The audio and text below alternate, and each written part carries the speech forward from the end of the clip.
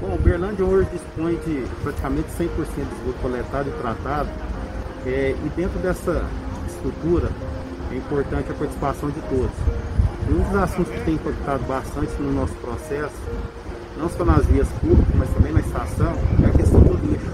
O lixo não é separado de forma correta e também o óleo de cozinha, às vezes aquele do resto da fritura, que não é condicionado em locais próprios, também vai trazer impactos aqui para nós. Então a necessidade de um esforço humano e do nosso maquinário para que possa remover esses resíduos. Hoje nós estamos retirando uma média de 145 toneladas por mês de material que não deveria estar na rede de esgoto.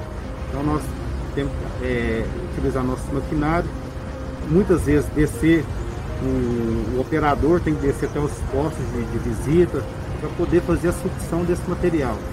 Então, ou seja, é um trabalho extra que vai impactar, né, não, como já dizemos, nas vias públicas, mas também na nossa estação de tratamento de esgoto.